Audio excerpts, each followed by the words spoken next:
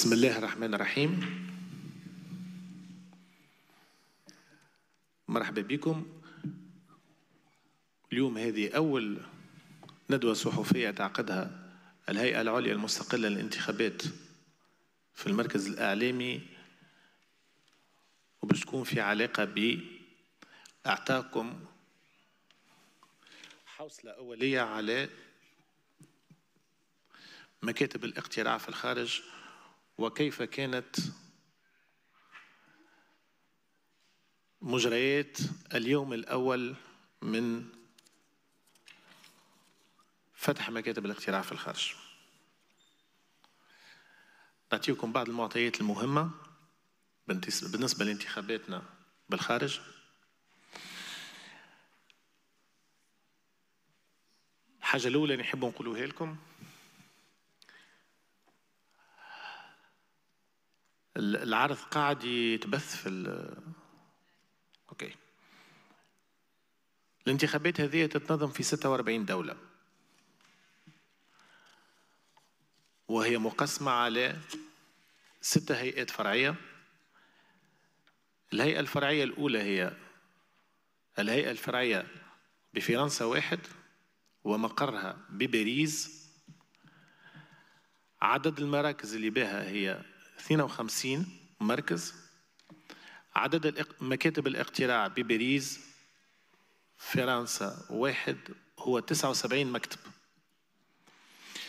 فرنسا اثنين الهيئة الفرعية بفرنسا اثنين ومقرها بمرسيليا عندنا فيها 64 مركز اقتراع. وبال 64 هذوما عندنا 91 مكتب اقتراع. الهيئة الفرعية بالدول العربية وباقي دول العالم. ومقرها بأبو ظبي. عندنا فيها 47 مركز. يضموا 53 مكتب اقتراع. الهيئة الفرعية بألمانيا ومقرها ببرلين. عندنا فيها ستة مراكز. ويضموا 14 مكتب. الهيئة الفرعية بإيطاليا ومقرها بروما عندنا فيها 78 مركز اقتراع و85 مكتب اقتراع.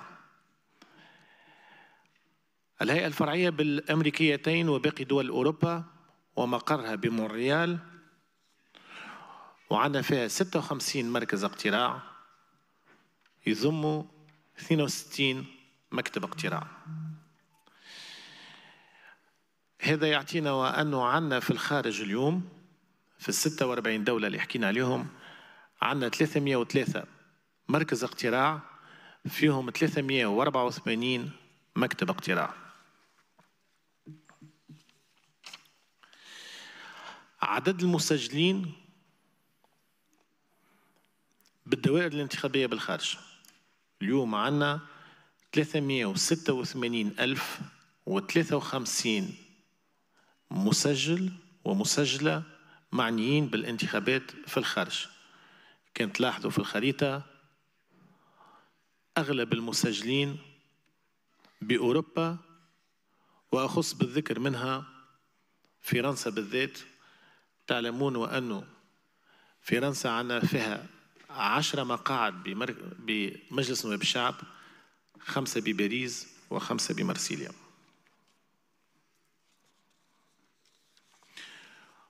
لو كان نعطيكم فكرة على عدد المسجلين حسب الدوائر هذية نشوفوا أنه الدول العربية وباقي دول العالم عنا فيهم 35879 مسجل. في ألمانيا عنا مسجلين 28623 بالنسبة لإيطاليا عنا 57667 مسجل.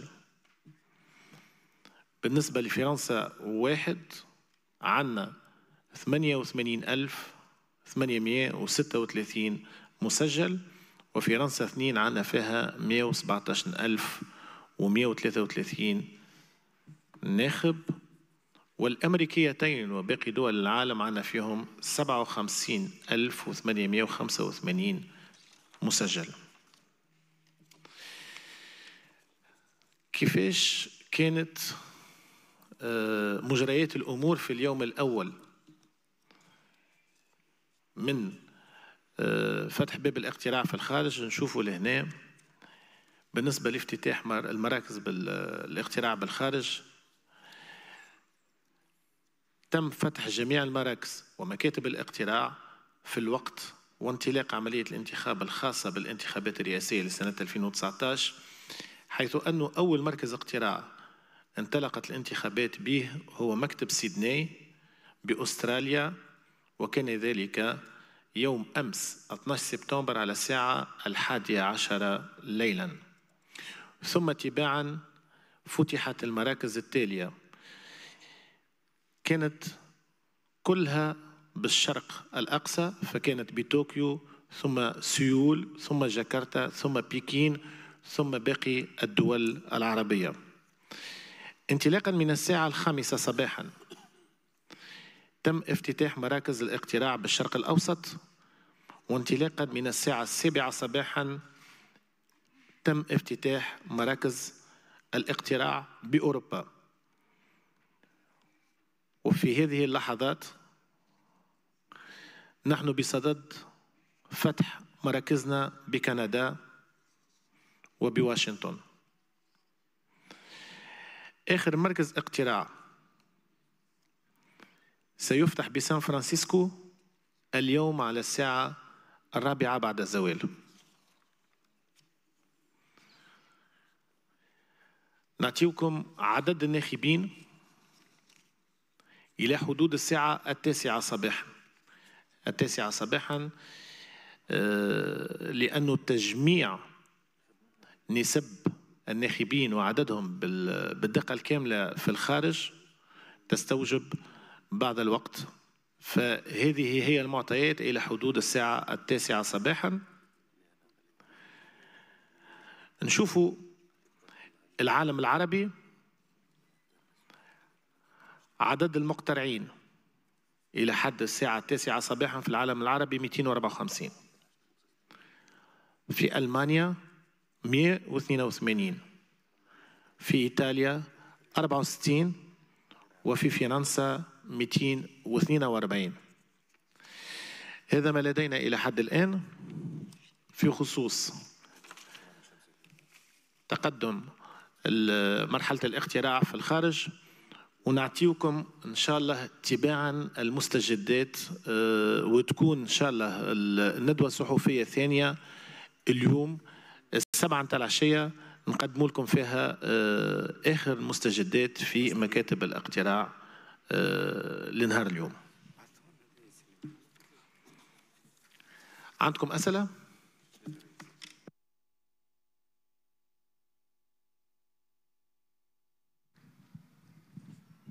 آه، محمود غربال إعلامي ناشط المجتمع المدني ملاحظ. حبيت نسأل سؤال هو دقيق شوية. بالنسبة للمسجلين إحنا ما كان كانت عندنا الانتخابات التشريعية وبعدها الرئاسية. نظرا للظروف الاستثنائيه ووفاة الرئيس الباجي الله يرحمه قدمنا طبق الدستور قدمنا معناتها الانتخابات. لكن إحنا التسجيل سجلنا برشا وحيد اللي شباب اللي مش يولي عمره معناتها يعني نهار الانتخابات التشريعية يولي عمره 18 سنة. وقت اللي قدمنا الانتخابات يولي ممنوع ما غير مسموح له بال بال بالانتخاب وهو مسجل.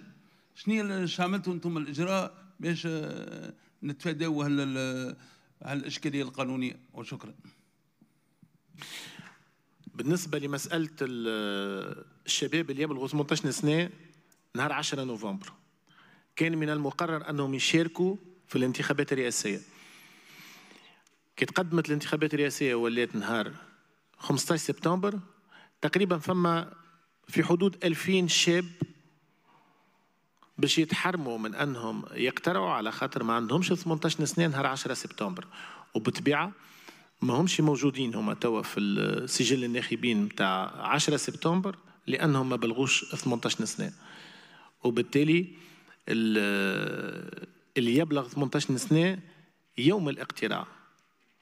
هو فقط اللي له آه، حق الاقتراع تم يعني حذفهم من السجل لأنه ما عندهمش 18 سنه وما همش باش يكونوا موجودين في السجل الانتخابات الرئاسية السابقة اليومين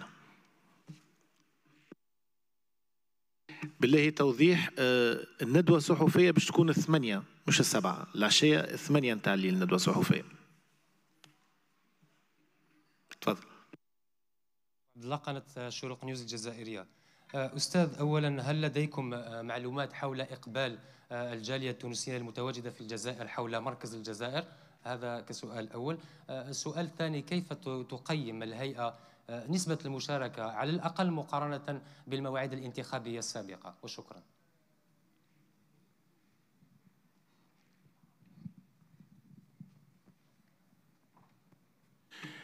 بالنسبة للجزائر هو كيفها كما باقي الدول العربية يظهر لي أحسن إقبال. معناش المعطى بالضبط على الجزائر.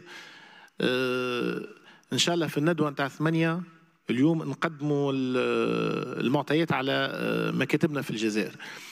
لكن إجمالا الإقبال كان في الدول العربية إقبال محترم ولاحظنا وجود يعني اصطفاف أمام مكاتب الاقتراع في الدول العربية لأنه اليوم الأول للاقتراع بالخارج صادف مع يوم عطلة بالنسبة للدول العربية اللي عندها نهار الجمعة هو يوم عطلة. تفضل سيانيس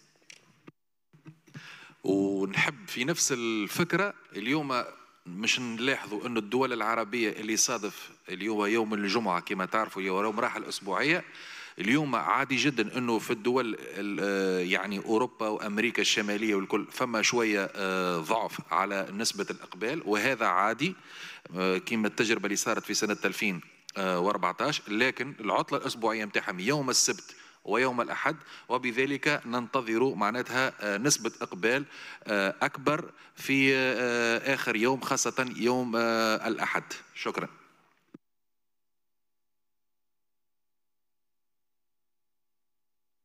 لقناة الميادين. سؤالي فما صباح أخبار قاعدة تدور على التواصل الاجتماعي أنه حالة الطقس في فرنسا كانت متردية وتعطلت حركات القطار ما أثر على نسبة إقبال الناخبين. مدى صحة ذلك؟ وهل فعلا أثرت على عدد الإقبال؟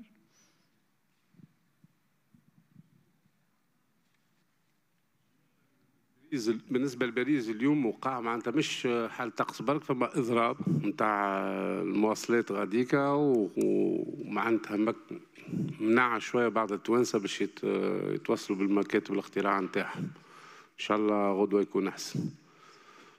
surtout هي grève question de grève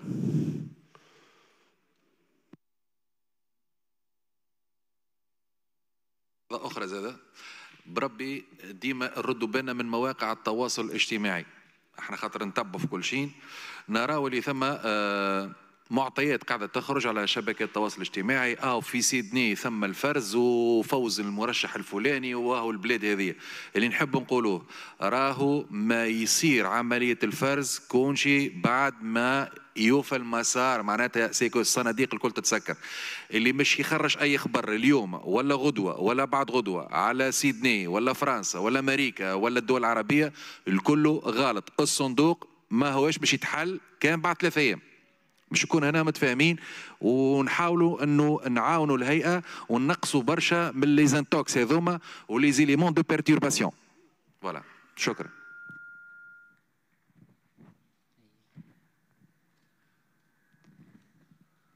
ميسون الواحد العربية. آه، هناك آه، من تونسيين موجودين في ملبورن عددهم 171 شخص. البعض يتحدث بأنه تعذر عليهم الاقتراع لأنه أقرب مركز اقتراع لهم هو في سيدني ويبعد مئات الكيلومترات كيف سيتم التعامل مع هذا الموضوع وهل وصلتكم هذه المعلومات؟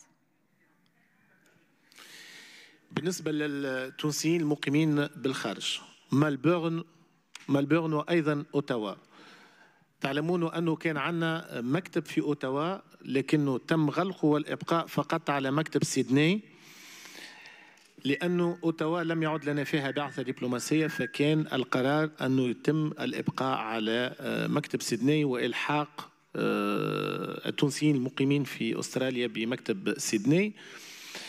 الوضعية هذه ماهيش موجودة كان في أستراليا موجودة أيضا في آه، كندا اللي فيها أوتاوا و أوتاوا ومونريال ونعرفوا أنه عندنا توانسة يقيمون على بعد قرابة قرابة 500 كيلومتر على المناطق هذه. وعليهم التنقل لأنه المسألة ما هيش سهلة في البلدان الكبيرة كما أستراليا وكندا. آه، قادرين أنه نوفروا الخدمة بسهولة بالنسبة لفرنسا وإيطاليا وألمانيا وين ما فما آه، كثافة للجالية التونسية. لكن تعرفوا أنه لما يكون الانتشار بالنسبة للجالية يعني على مساحات شاسعة فهذا يخلينا آه، ما نجموش نوفروا الخدمة بالشكل الكبير. علما وقالوا وعلما وأنه في أستراليا الجالية موجودة بأعداد آه، ماهيش كبيرة في المناطق الكل. سامحني حكيت لك على أوتاوا. نو أنا نحكي على كامبيرا. كامبيرا في أستراليا مش مش أوتاوا. كان عندنا مكتب في كامبيرا وكان هو اللي يحل قبل سيدني. ما عادش عندنا بعثة دبلوماسية في كامبيرا فقررنا آه، وأنه نبقيو على المركز متاع سيدني. والتوانسة اللي موجودين في أستراليا عندهم إمكانية التصويت لكن في سيدني. العدد اللي تحكي عليه راهو مش باش يكون يتجاوز المياه في أحسن الحالات والحقيقة آه، مش من السهل فتح آه، مكاتب في كل يعني المساحات. على كل حال عندنا 384 مكتب في الخارج. نزيد نضيف حاجة لكونه وقت حلينا ترشحات آه، لعضوية مكاتب الاقتراع. ما جاوناش معناتها من المكان هذوما ناس نحبوا يحلوا معناتها. كنا نجموا كان تقبلنا ترشحات رانا حلينا بطريقة أو بأخرى. لكن ما الجاليه بس ما جاوبتناش. هذاك علاش ولينا خذينا القرار هذا. شكرا لكم يعطيكم الصحة ونتواصلوا إن شاء الله الثمانية تاع الليل.